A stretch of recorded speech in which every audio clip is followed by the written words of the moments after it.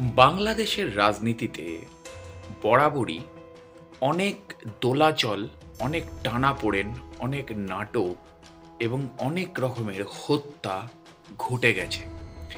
এবং এর মধ্যে সবচেয়ে উল্লেখিত ঘটনা যে বাংলাদেশের দুজন রাষ্ট্রপতির হত্যা, যেখানে আমাদের দেশে লাল বাহাদুর শাস্ত্রীর হত্যা বা ইন্দিরা গান্ধীর হত্যা বা রাজীব গান্ধীর হত্যা, একটা এক একটা ইতিহাস এক একটা প্রেক্ষাপট এক একটা ঘটনা, সেরকমই বাংলাদেশেও শেখ মুজিবুর রহমানের হত্যা এবং তারপরে বাংলাদেশের আরেক রাষ্ট্রপতি এবং বিএনপি দলের, অর্থাৎ বাংলাদেশ ন্যাশনাল পার্টির প্রতিষ্ঠাতা জিয়াউর রহমানের হত্যা একটা আলাদা ঐতিহাসিক তাৎপর্য রাখে।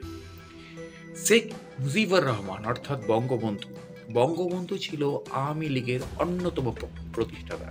কারণ আওয়ামী লীগের মূল প্রতিষ্ঠাতা ছিল কিন্তু বাংলার প্রথম মুখ্যমন্ত্রী এবং তিনি তিনি নিজেকে বাংলার প্রধানমন্ত্রীও বলতেন মানে তখন অখণ্ড বাংলা ছিল সুরাবর্দী কিন্তু এই সুরাবর্দিরই রাইট হ্যান্ড ছিল কিন্তু শেখ মুজিব। কিন্তু জিয়াউর রহমানের উত্থানটা সম্পূর্ণ আলাদাভাবে হয়েছিল।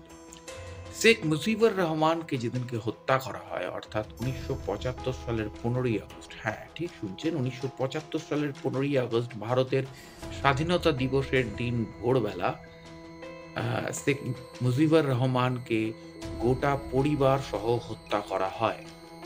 এবং সৌভাগ্যক্রমে বাংলাদেশের বর্তমান প্রধানমন্ত্রী শেখ হাসিনা তিনি বেঁচে যান। কারণ তিনি তখন ওই বাড়িতে ছিলেন না।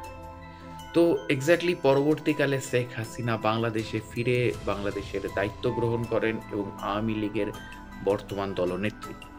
কিন্তু এই বঙ্গবন্ধুর মৃত্যু বা হত্যার পর বাংলাদেশের রাজনীতিতে একটা সাংঘাতিক দোলাচলের পরিস্থিতি তৈরি হয় এবং সেই দোলাচলের পরিস্থিতির মধ্যে দিয়েই জন্ম নেয় আরেক সামরিক শাসক এবং পরবর্তীকালে বাংলাদেশের রাষ্ট্রপতি জিয়াউর রহমান। তো এই যে জিয়াউর রহমানের জন্ম, এইখান থেকেই কিন্তু তার স্ত্রী হচ্ছে পরবর্তীকালে বিএনপির মূল সুপ্রিমো বেগম খালেদা জিয়া। এই জিয়াউর রহমানের উত্থানটা খুব অদ্ভুত উত্থান। কারণ যেখানে বঙ্গবন্ধুর খুনিরা, বঙ্গবন্ধুকে যারা খুন করেছিলেন তারা একটি ইন্টারভিউতে একটি আমেরিকান টেলিভিশন চ্যানেলের ইন্টারভিউতে জানিয়েছিলেন উনিশশো ছিয়াত্তর সালে যে তারা বঙ্গবন্ধুকে হত্যা করবে। এই প্ল্যানের বিষয়টি যখন জেনারেল জিয়াকে জানায়, তখন জেনারেল জিয়া তাতে সমর্থন করে এবং সমর্থন করে জানায় যে, তোমরা যদি সাকসেস হও, তাহলে তোমাদের সাথে আমি আছি। তোমরা এগিয়ে যাও। তো এই ঘটনাটার পর দেশে জিয়া বিরোধী একটা সংগঠন তৈরি হয়। এবং পরবর্তীকালে সেই আমেরিকান টিভি চ্যানেল যখন উনিশশো ছিয়াত্তর সালে জিয়ার কাছে ইন্টারভিউতে জানতে চায় যে এটা কি সত্যি, তখন কিন্তু জিয়া পুরো বিষয়টির মধ্যে হ্যাঁ বা না, কোনো উত্তরই দেয় না এবং সেই সাক্ষাৎকারগুলো এখনও পাওয়া যায় আর্কাইভে আপনারা দেখলেও দেখতে পাবেন। তো এখানে জিয়াউর রহমানের যদি আমরা শৈশবটাকে দেখতে বসি তাহলে আমাদের কলকাতার কানেকশন সেখানে রয়েছে। কলকাতার হেয়ার স্কুলের স্টুডেন্ট পরবর্তীকালে করাচির একটি স্কুলের স্টুডেন্ট এবং করাচি থেকেই তিনি কলেজের পাস আউট এবং পরবর্তীকালে তিনি জার্মানিতেও যান উচ্চশিক্ষা গ্রহণ করতে। তার মানে জিয়াউর রহমানের পরিধিটা কিন্তু শুরু হচ্ছে আমাদের কলকাতা থেকে। কারণ জিয়াউর রহমানের বাবা, তিনি কিন্তু কলকাতায় একজন সরকারি চাকুরি ছিলেন স্বাধীনতার আগে। এবং সেই জায়গা থেকে দাঁড়িয়ে কলকাতার Hare school state Hare school থেকে একজন ছেলে, সে পরবর্তীকালে করাচির একটি স্কুলে ভর্তি হচ্ছে এবং সেখান থেকে সে কলেজে উঠছে এবং সেখান থেকে সে জার্মানিতে পড়তে যাচ্ছে এবং সেখান থেকে সে পাকিস্তানের মানে পাকিস্তানের মূল সেনাবাহিনীতে অংশ মানে গ্রহণ করছে ক্যাডেট হিসেবে এবং উনিশশো পঁয়ষট্টি সালে ভারত পাকিস্তান যুদ্ধে পাকিস্তানের হয়ে তিনি লড়াই চালাচ্ছেন ভারতের সাথে। এবং সেখানে তার বীরত্বের জন্য তিনি বেশ কিছু পুরস্কারও পান। পরবর্তীকালে মানে তার আগে তিনি পাকিস্তানের গোয়েন্দা বিভাগেও ছিলেন মানে যেখানে ভারত বিরোধী কার্যকলাপের মধ্যেও জিয়াউর রহমান কিন্তু অন্যতম ভূমিকা সেই সময়ে নিয়েছিলেন, কারণ তিনি পাকিস্তানের গোয়েন্দা বিভাগে তিনি কর্মরত ছিলেন। পরবর্তীকালে যখন বাংলাদেশ মুক্তিযুদ্ধ শুরু হয়, তখন কিন্তু সে ইস্ট বেঙ্গল রেজিমেন্টের দায়িত্ব নিয়ে পাকিস্তানের সাথেও লড়াই করে বাংলাদেশের পক্ষে। এবং বাংলাদেশের স্বাধীনতা রেডিওতে কে ঘোষণা করেছিল এটা নিয়ে কিন্তু আওয়ামী লীগ এবং বিএনপির মধ্যে একটা লড়াই চলে। এবং এই লড়াইয়ের মূল কারণ হচ্ছে, বঙ্গবন্ধু ঘোষণা করেছিল না, জিয়াউর রহমান ঘোষণা করেছিল। কারণ বঙ্গবন্ধু মানে হচ্ছে আওয়ামী লীগ এবং জিয়াউর রহমান মানে হচ্ছে বিএনপি, অর্থাৎ বাংলাদেশ ন্যাশনাল পার্টি। বাংলাদেশের বর্তমানের দুই যুযুধান দল। দুই যুযুধান পার্টি। কিন্তু এখানের মূল কাহিনীগুলো হচ্ছে অন্য জায়গায় সেটা হচ্ছে জিয়া যখন আফটার বঙ্গবন্ধু গভর্নমেন্ট রান করছিল, সরকার যখন প্রতিষ্ঠা করে তার সামরিক সরকারই হোক এবং পরবর্তীকালে গণতান্ত্রিক পদ্ধতিতে ভোট করে তিনি নিজের পক্ষে ভোট নিয়ে এসে এবং প্রায় ছিয়াত্তর শতাংশ ভোট নিয়ে তিনি যখন পরবর্তীকালে রাষ্ট্রপতি নির্বাচিত হন সেই সব ক্ষেত্রে জিয়া কয়েকটা স্টেপ নিয়েছিল, যে স্টেপগুলো বাংলাদেশের পক্ষে খুব বিপজ্জনক ছিল। যেমন, বাংলাদেশের স্বাধীনতা বিরোধী যে জামাত ছিল, যে জামাত দলের লোকেরা ছিল, তাদেরকে তিনি গণতান্ত্রিক পদ্ধতিতে নির্বাচনে আহ্বান করেছিলেন এবং তাদের রাজনীতি করার সুযোগ দিয়েছিলেন। এবং সেই রাজনীতি কিন্তু এখনও চলছে।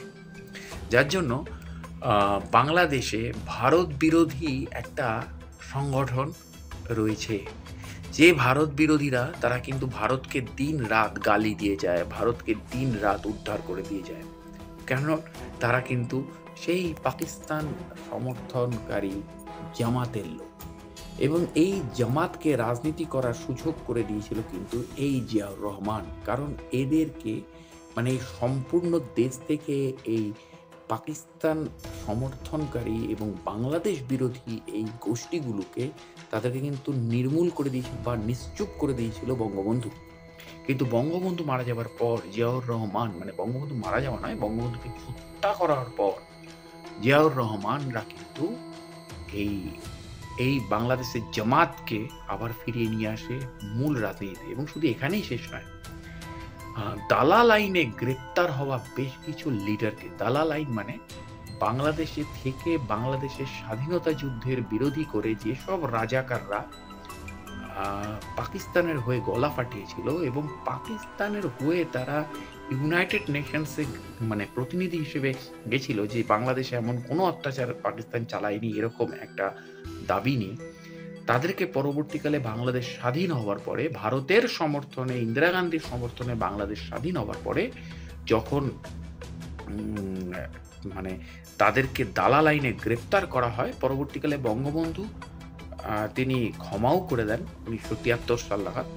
তো সেই দালাল আইনে গ্রেপ্তার হওয়া লোকগুলোকে পুনরায় জিয়াউর রহমান বাংলাদেশের রাজনীতিতে ফিরিয়ে আনে এবং তাদেরকে প্রধানমন্ত্রীও করায় তো এক্স্যাক্টলি জিয়াউর রহমানের এই স্টেপটা সঠিক ছিল না বেঠিক ছিল, সেটা বাংলাদেশের মানুষরা বলবে আমরা ভারতীয় বাঙালিদের কাছে জিয়াউর রহমানের এই স্টেপটা প্রচণ্ড নেগেটিভ কারণ জিয়া কিন্তু ভারতের সাথে সুসম্পর্ক বজায় রেখেছিল, অবশ্যই ভারতীয় মানে জিয়া যখন বাংলাদেশের রাষ্ট্রপতি হলো, তিনি প্রথমে সামরিক শাসক ছিলেন কিন্তু সামরিক শাসক থাকাকালীন গোটা পৃথিবীর চাপে এসে তিনি কিন্তু গণতান্ত্রিক পদ্ধতিতে ভোট করান।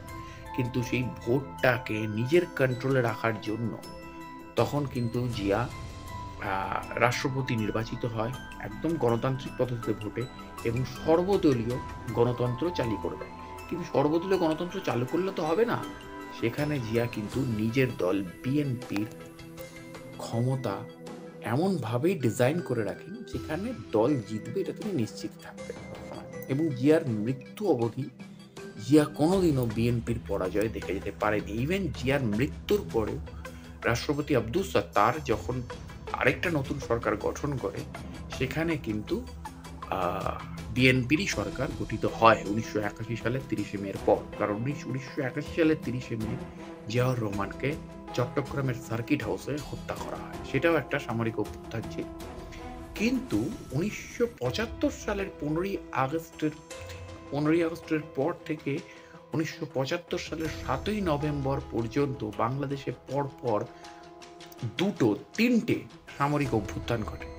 এই তিনটে সামরিক অভ্যুত্থানের পর লাস্টের দিকে যে সামরিক অভ্যুত্থানটা ঘটে, ছয়ই নভেম্বর, অর্থাৎ সাতই নভেম্বর সামরিক অভ্যুত্থান, যেটা আবু তাহেরের নেতৃত্বে হয় এবং এই আবু তাহের ছিল মেজর জিয়ার খুব ভালোবাসার মানুষ। মানে মেজর জিয়াকে আবু তাহের খুব ভালোবাসতো এবং আবু তাহের নিজে মেজর জিয়াকে জেল থেকে ছাড়িয়ে এনেছিল।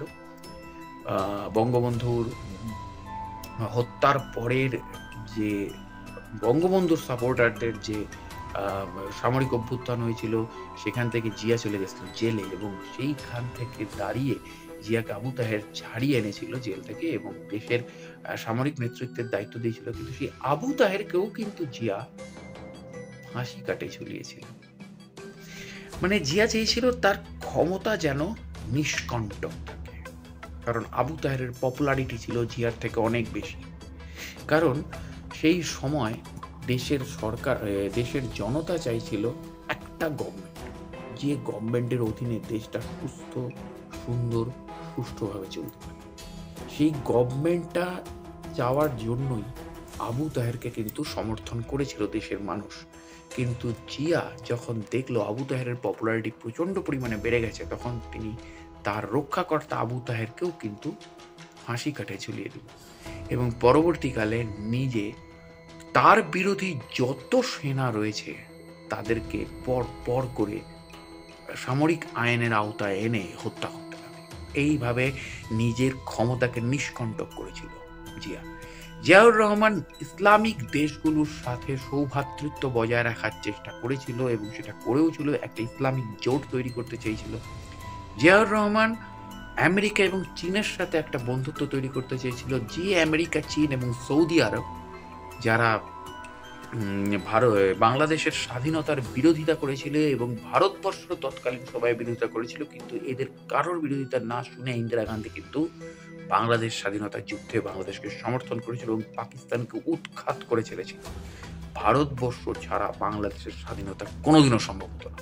এটা বাংলাদেশের মানুষরাও জানে এবং সেই কারণে বেইমান কিছু বাংলাদেশি আছে যারা আজও ভারতকে গালি দিয়ে, ওই যে একটু আগে বললাম, জামাতের কিছু লোকজন বা এই বিএনপি বা এই ধরনের দলের লোকেরা আজও ভারতবর্ষকে গালি দিয়ে যায়।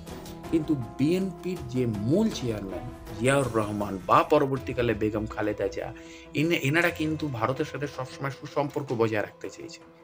কিন্তু এ দল বা এই জামাতের লোকেদের, এরা কিন্তু কোনোদিনও ভারতের সাথে সুসম্পর্ক বজায় রাখতে চায়নি, কারণ এরা সবসময় পাকিস্তানের সমর্থনে কথা বলতে চেয়েছে তো জিয়াউর রহমান এই যে কাণ্ডগুলো ঘটিয়েছিল, এই কাণ্ডগুলোর ফলে বাংলাদেশ অনেকটাই পিছিয়ে গেছে।